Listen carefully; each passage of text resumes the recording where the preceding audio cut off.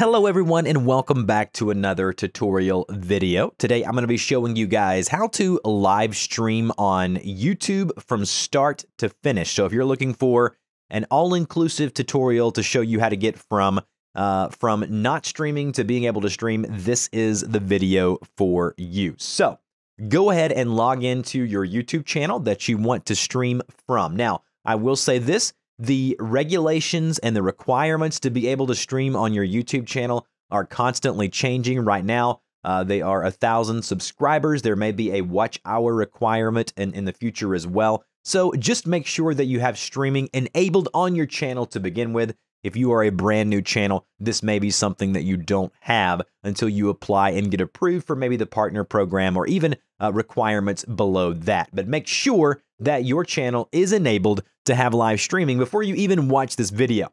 So log into your YouTube channel, make sure you have live streaming enabled on your channel, and then when you've got all of that figured out, let's go ahead and dive in. You're gonna need two different things. All of them are free. Obviously, a YouTube channel. And then secondly, you're going to need some form of streaming software. Now, it doesn't matter which software you use. You can use Slobs, which is what you see me using right here, Streamlabs OBS, that's free. You can use OBS. You can use whatever you're comfortable with, whatever you feel at ease using when you're streaming. I love Streamlabs OBS, and I have a full tutorial showing you, walking you through how to set up your scenes, how to set up your stream, and I'll link that down below as well. Okay, so we have a YouTube channel, we have our streaming software.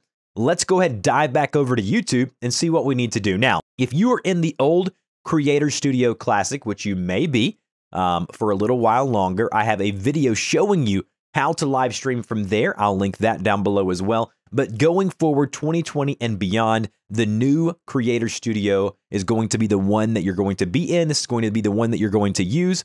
And so make sure yours looks just like mine does here. Once you are ready to live stream, you've got two ways to start the streaming process. Up in the upper right hand corner, you're going to see Create, uh, very familiar to you. You go here, you click upload video to upload a video normally. And right below that, there's going to be one that says go live. Now, over here, you've got the three identical icons over here. Uh, basically, go live, upload. So you can hit go live here or create and go live. It really doesn't matter. Now, once you are here, you may see this. To start streaming, allow access to your camera and microphone. Don't do that. Don't worry about that.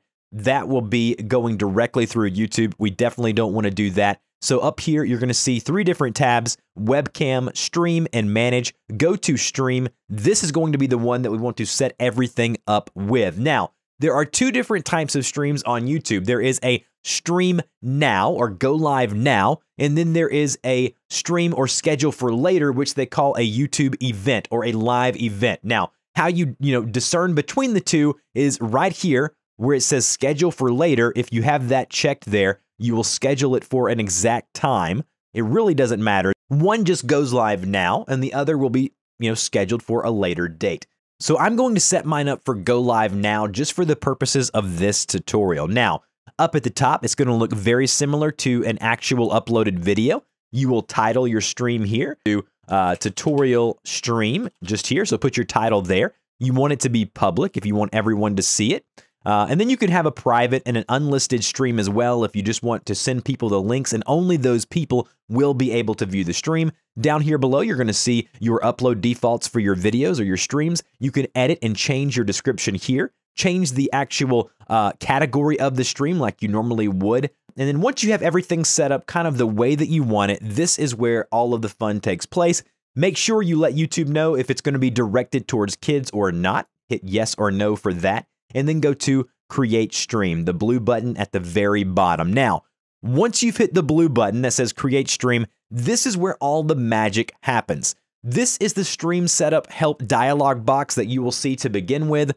All of this is basically telling you exactly what I'm telling you now, just showing you how to do it. So basically, you're going to need a stream key.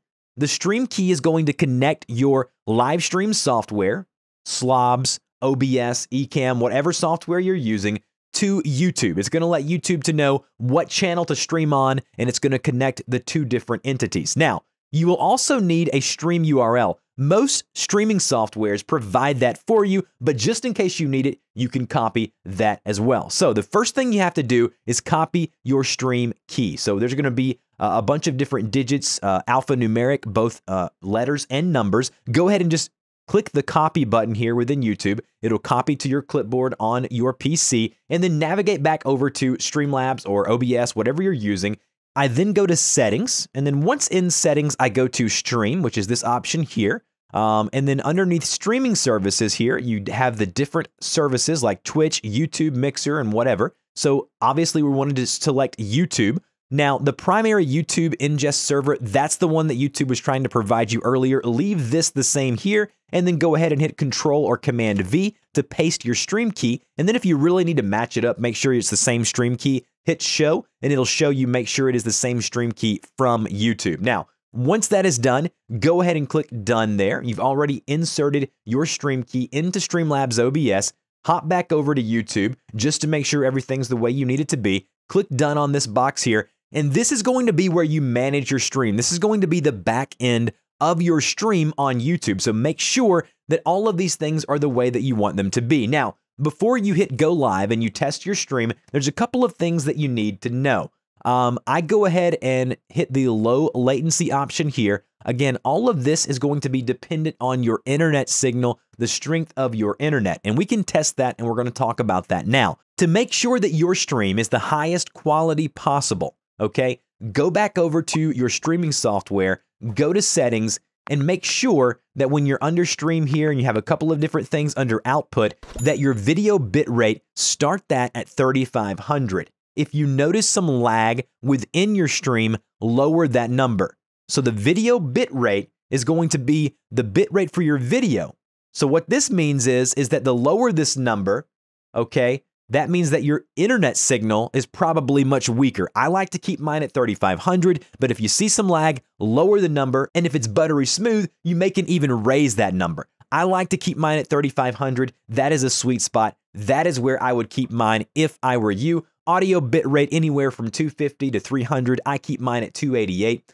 Um, again, you can do 256, 320, but 288 is a, is a fairly a streamlined process. Now, make sure that when you've gone through and set up your stream here on your streaming software, that you have your microphone connected via your audio interface, via Bluetooth, uh, via USB, whatever it is, because audio is critical just as it is within a uploaded video to YouTube. Now, once all of this is set up within your streaming software, go back over to YouTube, make sure again everything's the way you want it, and then on your streaming software, hit go live. So I'm going to go ahead and hit go live now within Streamlabs OBS. Now, this does not mean that you are live on YouTube. There is one more step.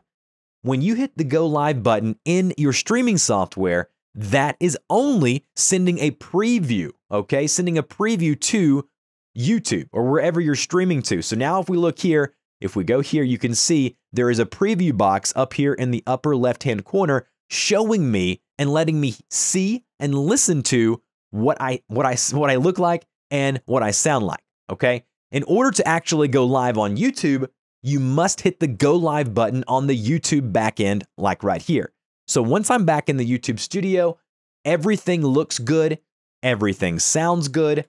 I then can go ahead and hit go live. But if I go to stream health here, I can see that my stream status is excellent. You want this to be in the green. You don't want to see yellow or red. You don't want to see poor quality. You want this to show as excellent. Go to stream health, make sure you're good to go, and then go over to where you see go live. Now, if you ever need to go and edit the settings of a stream, you can click the edit button in the upper right hand corner. This will allow you to change the thumbnail, enable monetization, and change all of the stuff that we spoke about earlier. So go ahead and close out of that if you don't want to edit it. Now that we're ready to go, hit the blue go live button and you will now be going live on the channel. Over here on the right hand side, you're going to see the chat. Now, this is a, very small channel. It's, it's an older channel that I have. I highly doubt anyone will hop in the stream here, but if they did, you would be able to see concurrent viewers, how many people are in the stream, how many likes that stream has. Also, what you can see here is you have a chat box over on the right hand side. If we click the three buttons there and then we go to pop out chat, you're then going to be able to pop that chat out here and see if people are chatting within your stream and respond to them from the chat box here. You can also hit those three dots and look for participants who were in the chat with you. Who are the people who are there on the stream? Very, very simple. All of this can be done within YouTube. Now, if you want to get even deeper than that, you can also monitor and, and see the chat within uh, specific streaming softwares like Streamlabs OBS or OBS and do it through them. Uh, that's something that I recommend doing. But again, I cover all of that in my overview series of how to use Streamlabs OBS. So I highly recommend you watch that first and then come over here and learn how to stream on YouTube. That would be my advice to you. Now, if you want to see what this looks like here, I will actually go to my channel on YouTube and show you exactly what that looks like. So now, so if I go to my channel on YouTube, you're now going to be able to see here it says tutorial stream. It's got the red button there, live now. I'll click that button there. And as you can see, here is the live stream. It's looking really nice. I've got the chat over here and I am good to go. So that is how you live stream on YouTube from start to finish. If you have any other questions, please let me know. When you're ready to end the stream, make sure that you hit end stream within YouTube first. Are you sure you want to end your stream? Hit end, the red button there, and you are good to go. It'll say stream is finished. It'll let you know how many people watched your stream. It'll give you a, a little bit of data about the stream, and you are good to go. Now, where do these streams end up once you have completed or finished the stream? Now, if we go to our YouTube studio, the new YouTube studio, so if we go here, once we're at our YouTube studio, under videos here, go to where you see uploads, there is another tab here that says live. Click the live tab here. This is where you'll be able to go back, watch the, the live streams back. You'll be able to publish the live stream for your viewers to watch at a later date if that's something that you want to do, or you can select the streams. I recommend you don't keep them on your channel there's some data that shows it's not good for a YouTube channel, select those videos. Once you've selected it, go to more actions, go to delete forever, and then delete forever. Normally, what I do is I actually change them from public to unlisted. That way, only the people who have the links can actually watch them. That way, I can always go back and see when I live streamed. It's just a way of me keeping track of kind of what I've done in the past. So that's my opinion. All right, guys, that is how you live stream on YouTube. Again, really appreciate you guys watching the videos. I'll have all the links down in the description of this video, and I will talk to you guys in the next video.